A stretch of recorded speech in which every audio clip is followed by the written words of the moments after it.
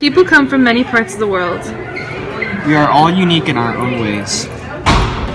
The earth is home to people of all colors. But does that matter? Why judge someone by the color of their skin? When there is something so much more important.